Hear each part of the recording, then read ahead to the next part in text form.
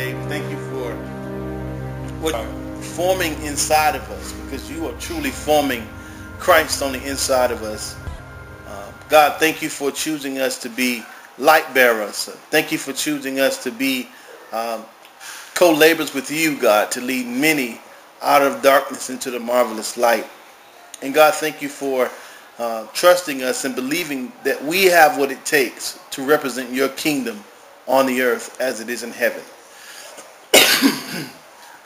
You are with us right now, and so God, we just honor you and we reverence your presence, and we say, God, speak through me, speak to us, bring us from where we are to where we need to be. In Christ's name we pray. Amen. Now, as I was, you know, as I was, you know, preparing for this training this week, you know, I know the Lord told me that he wanted me to show us that video. And I'm going to point back to the video throughout the remainder of this session today. But late last night I was up, uh, but I didn't go to bed. It's about maybe 4, 4 or 5 o'clock. And uh, the Lord wanted me to share something with you guys. He wanted me to share something with you guys. You know, and you guys need to take this personally. Take this personally. Um, Psalm 94 verses 8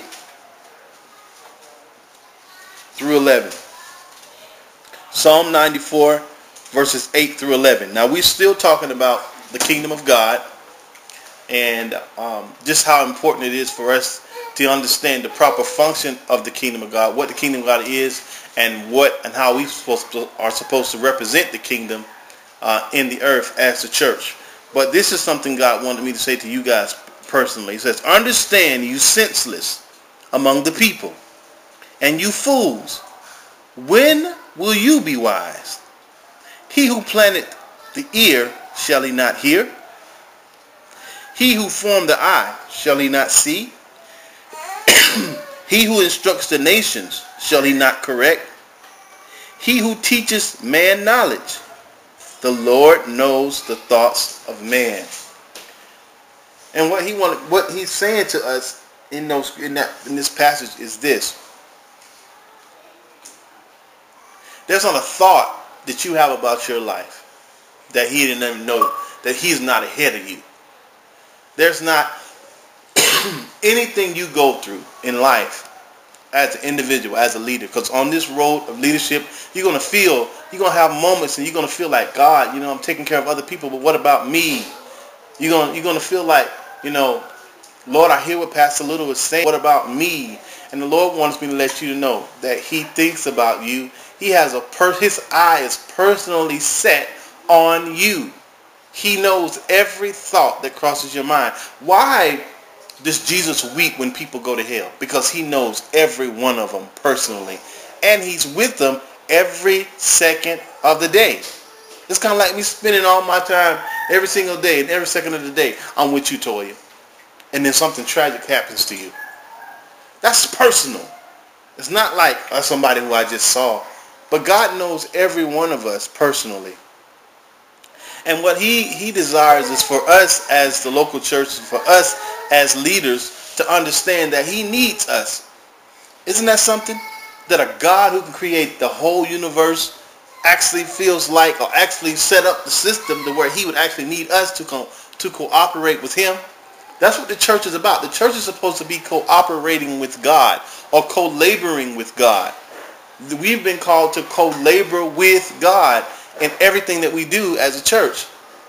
Now, God just wants me to let you guys understand how significant your life is to him and how much how much he knows and he cares about you.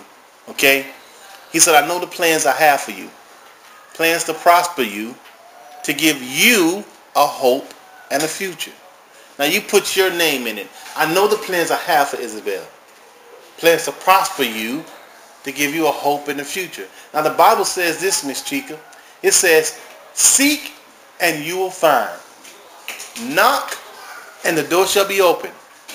Ask and it shall be given to you. now what is the it?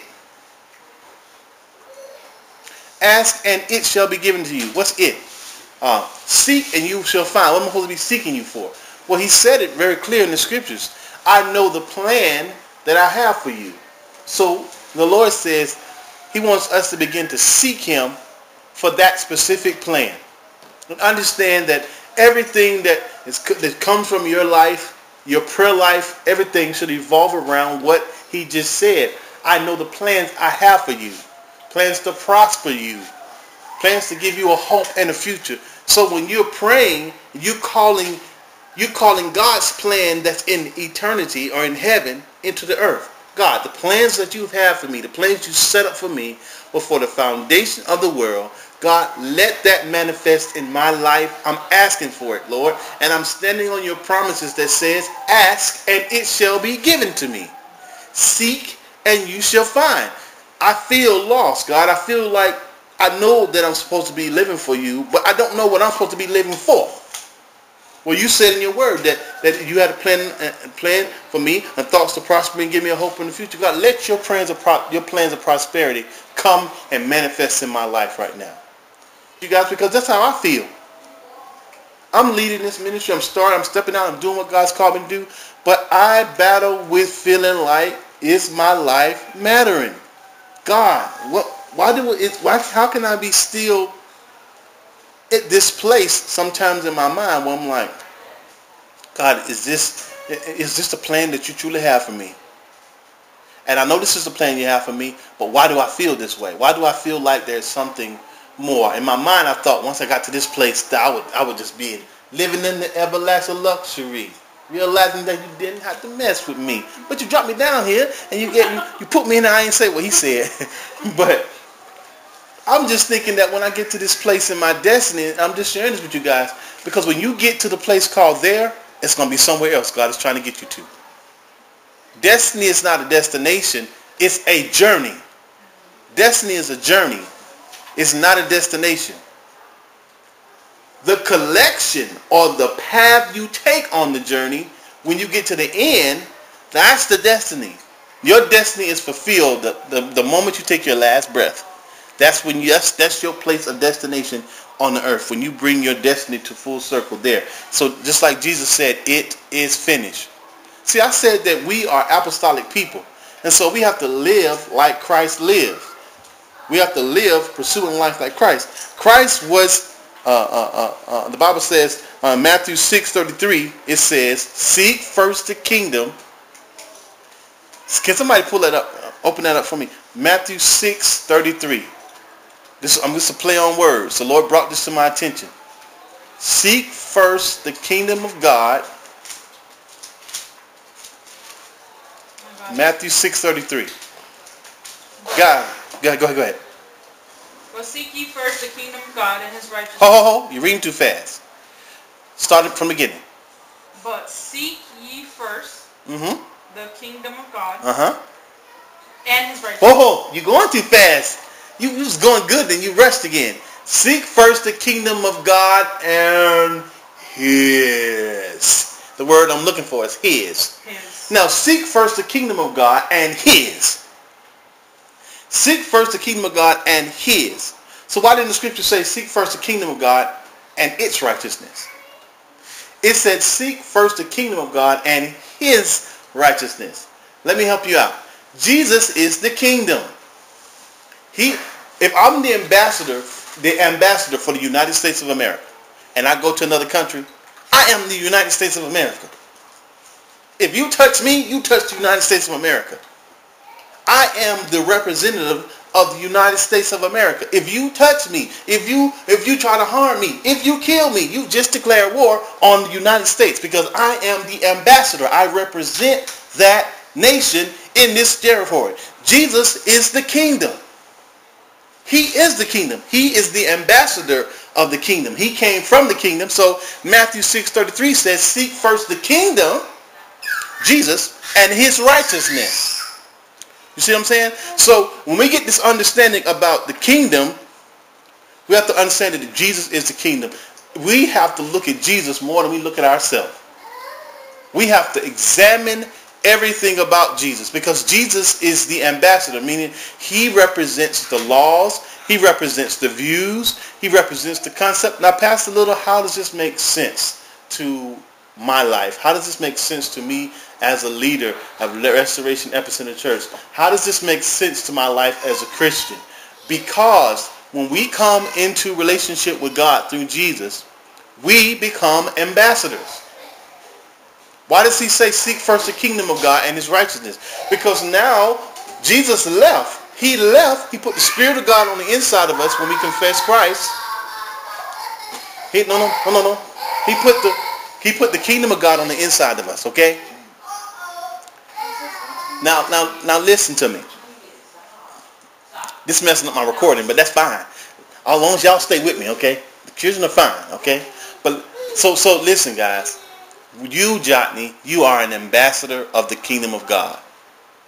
You, Miss Chica, you are an ambassador of the kingdom of God. And guess what? If the kingdom is going to come to the people that you'll meet, there are people you, you around every day in Jacksonville that I will never get to. But the kingdom needs to come to them.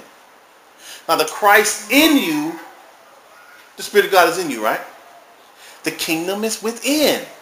That's why when Jesus, they asked, the Pharisees asked Jesus, where's this kingdom you talk about?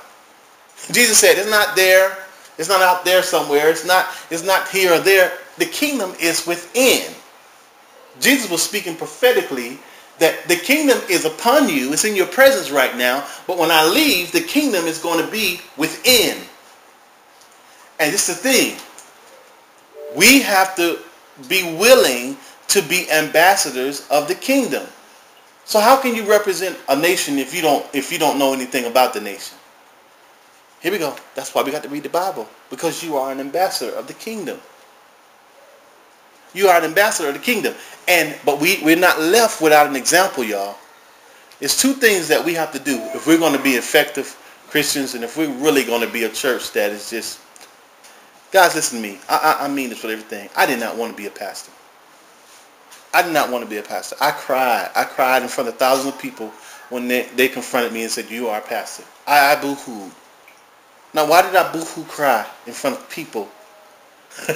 I don't cry in front of people. I'm a man. I felt like I lost some of my manhood crying in front of people about that. But you know, that's just that's joking, man. A real man cries, okay? You don't lock your emotions up. I'm just I'm just joking. Okay? You don't cry all the time about everything, but a real man do cry.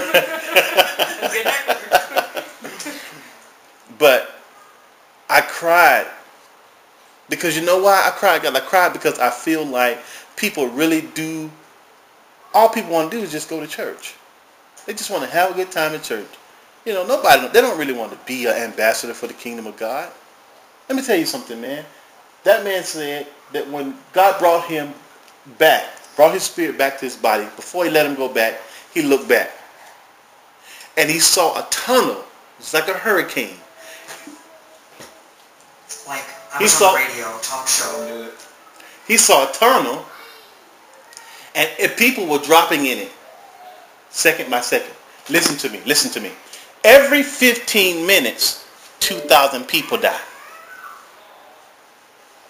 Every 15 minutes, non-stop, as long as time is ticking, every 15 minutes, 2,000 people die. So you know what that means? We cannot afford just be another church. We can't afford just to just to just to be happy-go-lucky who just people who just come into the church and oh pastor preached a good word last week. That means nothing if you wasn't a good ambassador this week. If you didn't present the gospel of Christ to a kid. If you didn't present the gospel of Christ to a person who God let you see every day for the last six months, you've seen this one person and you never shared the kingdom a message of Christ to him. You never shared it with him that person is going to be one of those people that fall into that pit. Now let me tell you something, guys. The hurricanes that we see on the earth, the Bible says that there's always what we see in the physical realm is a depiction of things that are actually happening in the spirit realm. Now, when people die, there are funnels, there are funnels all over this, all over the world, you have something called the gates of heaven. Listen to me now. And you have the gates of hell. Now, what's the gate of heaven? It's a portal or, or, or, or place. It's our responsibility. If we, we can open the gate of heaven over Altamont, Are y'all listening to me? How do we open the gate of heaven over Altamont? Through prayer and through intercessory prayer. That is how we open the gate. And we keep intercessory prayer over that over that over that region. And we keep calling God in. The angels that that that um, Joseph, not Joseph, but Jacob saw ascending and descending. They only went ascending and descending because somebody was praying. In the spirit realm, there's nothing happens until we pray. I told y'all last week that the mouth is the key that moves the invisible realm. If your mouth is shut, heaven is shut in your life. Your mouth is open, heaven is moving. But God will not, he will not overpower our will. And so we have a responsibility as a kingdom church to be a gate church that keeps the gate, the windows, uh, keep, keeps the, the, the gate of heaven open over that area. Why? So that says that no demonic principality is ruling over that area and that's keeping people from coming into the knowledge of Christ. But where the church is just have people in the region just having church, and we ain't going nowhere. They just having good church. Nobody's interceding. Nobody's praying. Nobody's evangelizing. Nobody understands. People are coming in, but they're not being sent out. Understanding that there are ambassadors. There are people that you see every day, Liz, that I will never see. But you have Christ in you, and he's saying, what's up? You don't just let that person walk by? Hey, that's one of my kids. I can't touch him unless you touch him. Each one of us represent the hands of Christ. We represent the mouth of God. And if we don't speak to them, how, how shall a person hear about the kingdom of God unless you speak? Some people won't be touched by God until you touch them. Some people won't be stopped by God. Well, I ain't never seen God. He's on the inside of you. And so any person you stop, you touch, you engage, God just engaged them. And so we have to understand that is that a reason why I want to show you guys that is because guys, that is why we're doing this. Do you understand that some of you can end up in hell? Mm-hmm. Myself included. If you put your hand to the plow and then look back, meaning you put your hand to the plow and look back and you don't repent, you can be a person that hears this truth and still go to hell. Does that mean that Romans 10.9 is wrong? No. But you can't be a person that practices sin or practices rebellion and not turn back to God.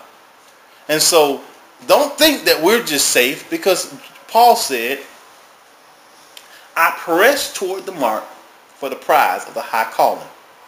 I press toward it. I don't look back, leaving those things which are behind, and I continue to press forward toward the things toward the things that are ahead.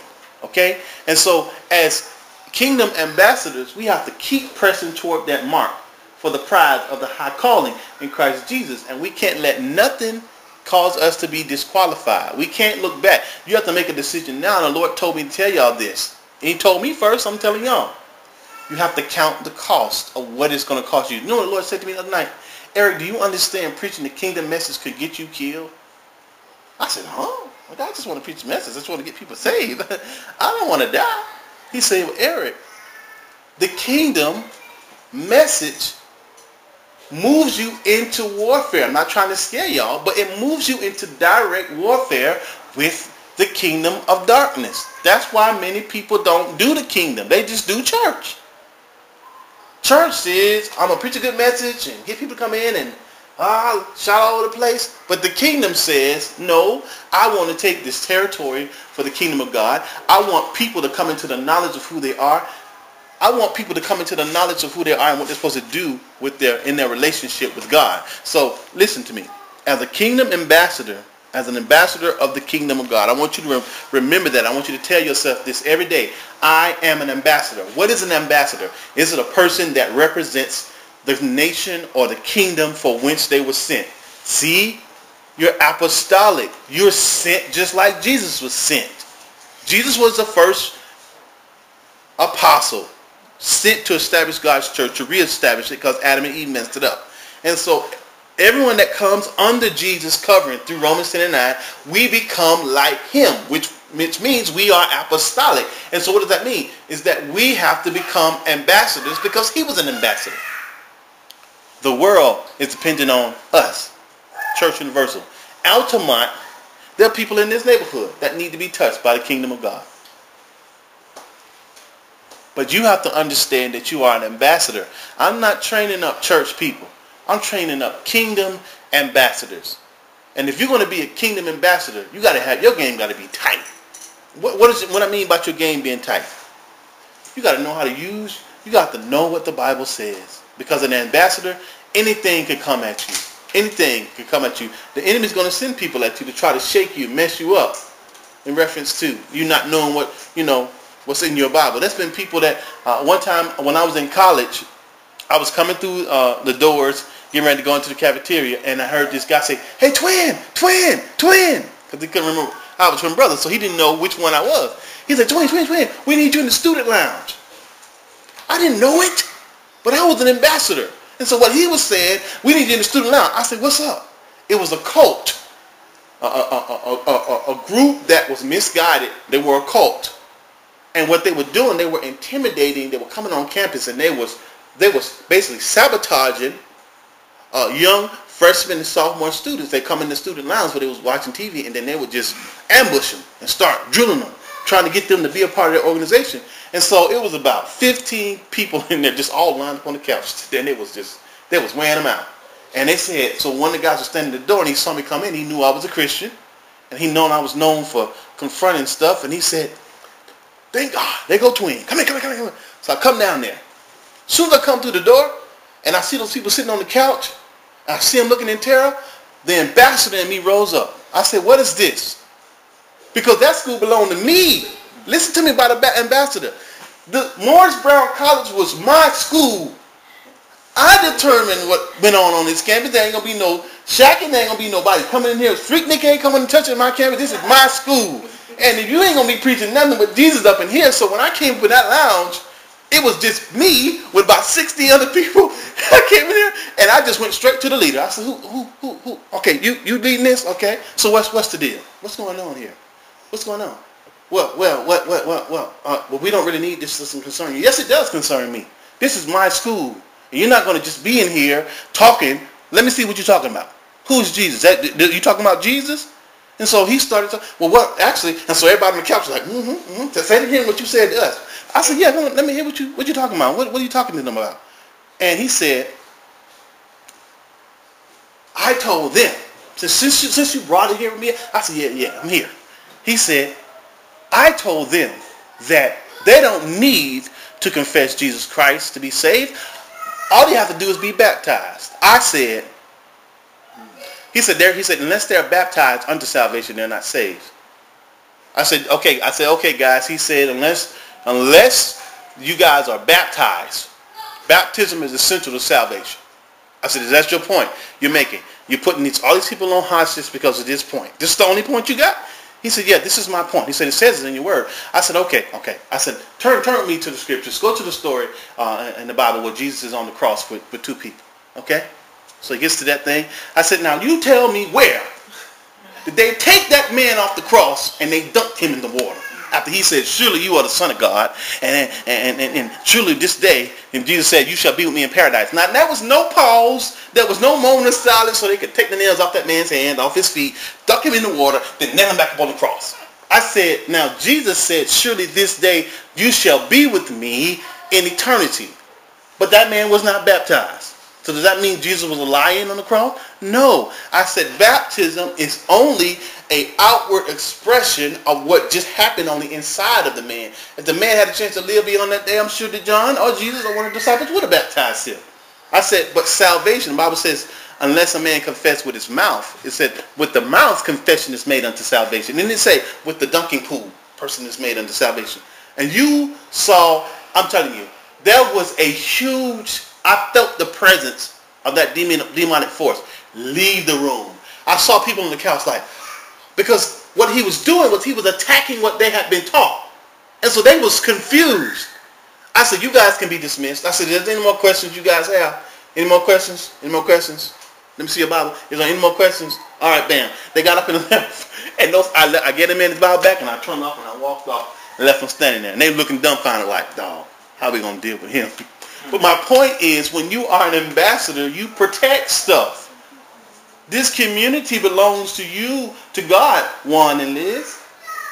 You guys are ambassadors. Do you understand that you being in this house, you can cover this whole entire housing development. You can keep people that are being oppressed and are being harassed by demons night in and night out. Do you understand if a witch moved into this, one witch moved into this housing she could set this whole block off. This whole entire community could be getting out by demons for one person. Now we have greater power than the, those occultic organizations. They're using the, the kingdom of God, the kingdom of darkness power. But we have the God of the universe on the inside of us. And so you and her can set something off in this whole place right here by just coming together, touching hands, and praying over y'all community and saying, God, you know, use us as your ambassadors. God, I don't care when we driving through, we walking the dog, let us meet somebody. Let us in, introduce Christ unto them. And you guys can, can utilize this place, this house. You guys start a little, and I'll come. I'll come. I'll come and help be a part of it. You guys can say, look, we meet every girl. You meet people and y'all start making disciples, connecting with people in this community. Say, girl, we have a little little Bible study on on this day at the house. You guys can come, bam, and we can come and take part of it. Now what we're doing is we're colonizing. Ambassadors colonize the region that they go into. See, we're going into Altamont to colonize it. See, America is not who came up with the word colonization. Uh, and, and, Britain and all the people, they, that's not where it started. It started with the kingdom of God. Jesus came as an ambassador to colonize the earth again. That's why Adam and Eve was sent to colonize the earth and to demonstrate and to and to and to and to perpetuate the mind of God, perpetuate the views of God, perpetuate uh, uh, uh, uh, uh the personality and character of God, to rule and subdue and have dominion in the earth. We was always intended to have power, y'all. That's why even from a very young age, them children, they want power. That little juicy fruit over there. He he just he he he lusts for power. He want to run stuff. But that's how he was supposed to always be. From our infancy, we were supposed to be people that rule, subdue, and have dominion. But now, you know, under this under this this structure and order that we have, we have to put little juicy fruit in place because he's not the king. And after a certain period of time, then he got to be, he got to fall into order with the kingdom. There's only going to be one king. Everybody else have a king. And that's the king and that's the queen. And then y'all have to decide as ambassadors of the kingdom how you're going to perpetuate the mind of God in your home. And so, so I want you to understand, I don't want you to call, I'm not going to call you guys leaders anymore. I'm going to call you ambassadors. I will not call anybody leaders simply anymore in Restoration Epicenter Church. I will call you ambassadors because the only person that's going to make a difference when they're deployed is an ambassador. Not just a lowly old Christian old saint who just go in there. I just, I made it to church. I used to hear people say all the time, girl, I just couldn't wait. Girl, I made it here. I made it to Sunday. I made it to Sunday. But whew, I know Pastor gonna have a word for us in the house. Girl, hoping hoping somebody can keep me till Wednesday. That is not. I don't want. I don't. I, I know we're gonna have those type of people because we got to train them. But that's not where I want you to stop. Ambassadors are waiting to be deployed, waiting to be sent out. And see, so as, as, as I'm talking about the kingdom, I want you to understand that it's so important that you understand what the kingdom is. First, the kingdom is Jesus. Matthew 6.33 says, seek first the kingdom and his righteousness. And so the kingdom, the view of the kingdom that we only have, the only way we know how to to, to understand and demonstrate the kingdom is by watching Jesus. He's the only, he was the ambassador. There's no other way that we can know anything about the kingdom is but through uh, the demonstration and, and, and the quality and character of which what Jesus uh, embodied. Now I want to share this with you guys.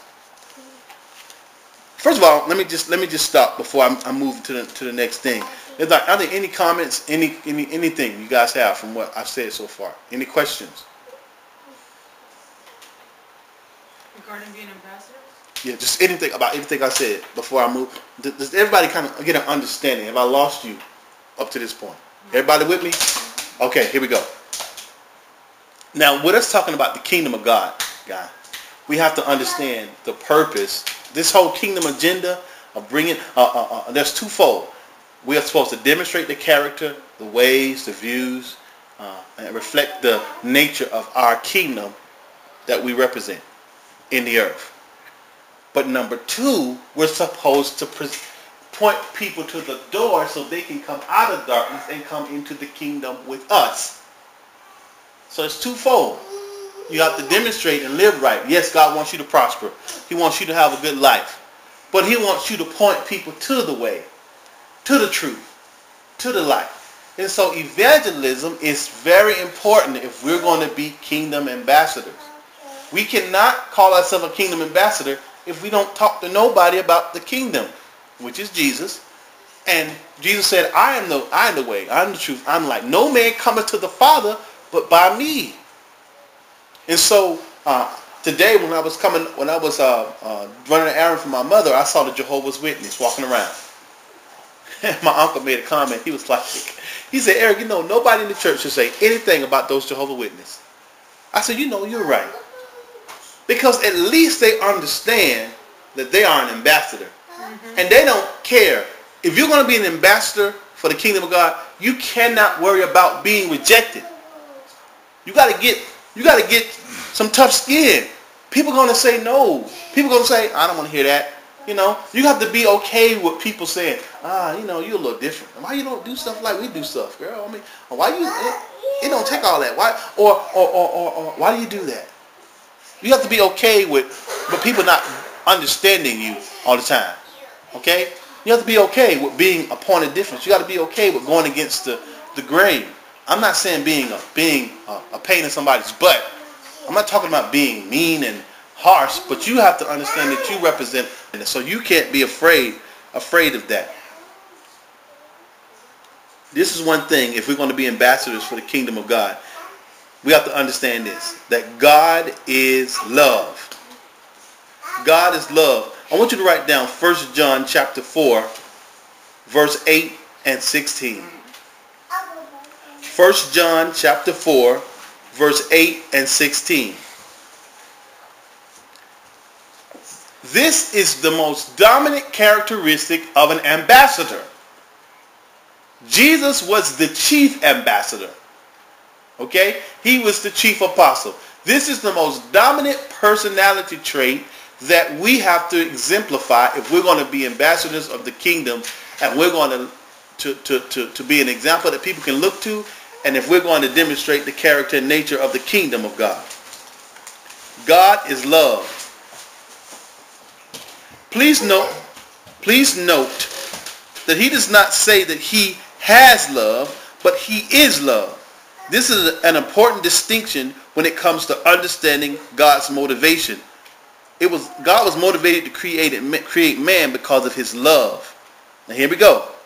Naturally or supernaturally, to be a, a manifestation of his love. One of the obvious qualities of love, here, this is the point right here. Love is fulfilled when it gives and it shares itself. God says he's love, but he wouldn't be, he wouldn't truly be the embodiment of love if he didn't share something or didn't give something away. That's why John 3.16 said, for God so loved the world that he did what? He gave. He gave his only begotten son. Love is not fulfilled unless it shares itself or it gives itself away.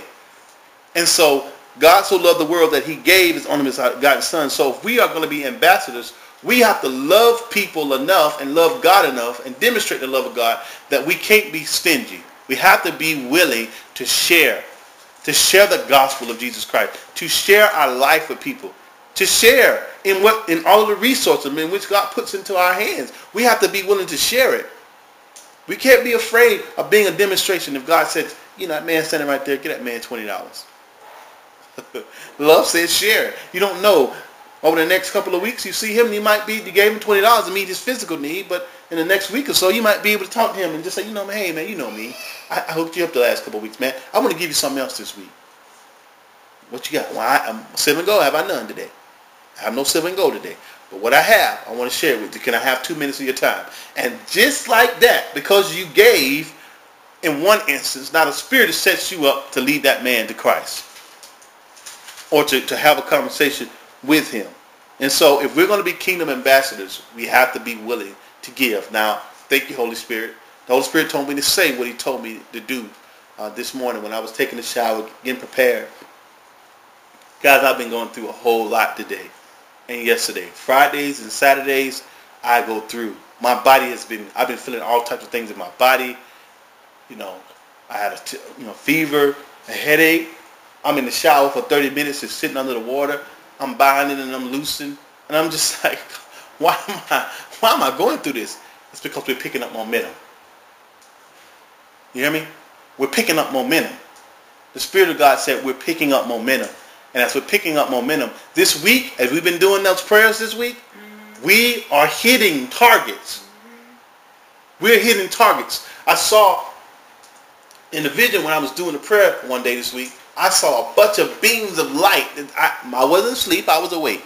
Okay? As while I'm, I'm, sitting there praying, and when I got finished praying, I'm laying back and I'm worshiping, and all of a sudden, I see this vision. And I see this vision of these, like, you know what a bolt of lightning looks like. I'm seeing like five or six bolts coming from all over the place in the sky. And they all came together and formed this huge white light. And the Lord says, Eric, that's what's happening with this prayer. Tell them to keep pushing. After this week is over, pray that prayer at night. We're gonna we're gonna meet back up to pray in the morning, but pray that prayer at night. That ball of light is the gate of heaven opening over that area. It's the gate that as we're praying, God is releasing his angels. His angels are so excited because they get to kick some butt. They get to do some stuff that they ain't been able to do. Because we Bible says that when we praise, we pray amiss. We don't know what to pray. When we ask for things, we ask for the wrong things. But when God hears of people calling for his kingdom to come, calling for the dispossession of things that are not like God, rooting out, pulling down, destroying, and throwing down. God said, oh yeah, now I can build and plant something. And I want you guys to know you're hitting targets. That's why you felt that pain in your body this week. Because anytime you you go into direct combat, I don't know a person in my life that has ever started a head-up fight and didn't get hit. Mike Tyson might have been the closest thing. but he still did get hit. But if you're going to engage in head-on-head combat, you're going to get a blow. I told y'all this week, we're going to start going after some things specifically, and that's going to draw some specific attention to us. And that's why my body has been uh, getting attacked in, in, my sleep and things of that nature. But this is good. I don't, I, I ain't, I ain't bothered by that. You know, bring it on. Y'all just keep, keep me covered and keep doing what y'all doing. All right. But, but listen here. Um, so I saw these this this ball of light. Listen to me. Let's keep doing that prayer. Keep because the Bible says the prayers of the righteous availeth much. I we we now now this this is what I want you to understand as kingdom ambassadors. We don't ask for things amiss. If I am the ambassador of the United States of America, I don't ask United States for stuff. If I need it, if I see there's a need in the territory you put it in, I make a demand for it. Ambassadors, call it in. I'm calling in forces for this area. I'm calling in forces for Liz. I see things that need to happen. So, so, so you have to understand that your whole posture in prayer got to change. Ambassadors don't beg for nothing. We don't beg for nothing because we have authority. We have favor. We have, God is saying, you ain't got to beg me. It's like having a child and and, and, and you got what they need and you ready to, you know, you ready to give them that, mommy please, mommy please, you have to beg. I got this. Okay, now this is what God told me to tell us to do, okay? I want to ask for you guys today to give a sacrificial offering. It's not coming to me. This offering is not for me. If you, I would like, right now, if you guys can give a sacrificial offering,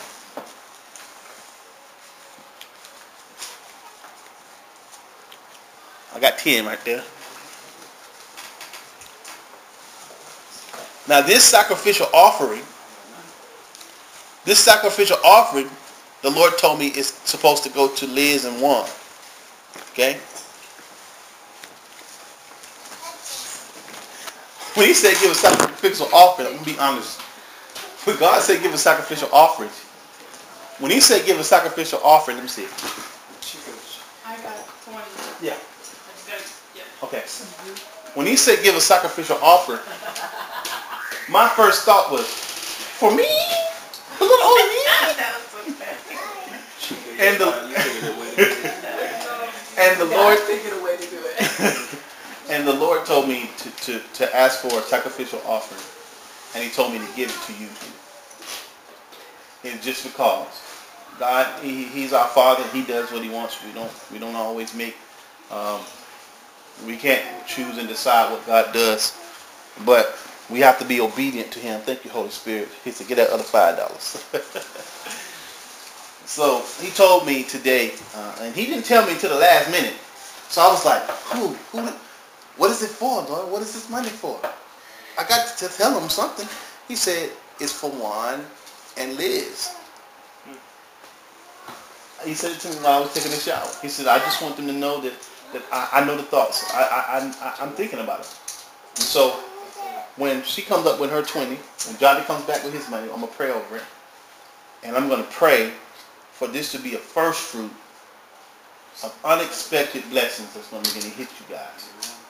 This is not what Pastor Little didn't do this. God did. And guys, I'm telling you, what we've been what, what have we been praying about? What have we been praying? We've been praying in our prayers for supernatural favor to begin to hit all of our finances and blessings to begin to manifest in our life. And so God said that he was going to begin to show the manifestation of it because we've been praying, but he's getting ready to start showing manifestations. And part of the manifestations, he said, I'm going to start it in the group first. Before you guys start seeing things happen outside the group, he said, I'm going to start manifesting things in the group.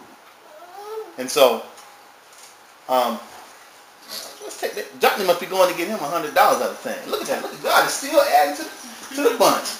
Look at it. Look at it. I wish I could give a hundred, two hundred dollars. I would sure give it. I it. tried to get some money earlier and you wouldn't take it. Look at God. Miss Chicken, you always hearing from God. Girl, look at you. She, she, you played me good. Thank you, Lord. Yeah, you got me, Chicken.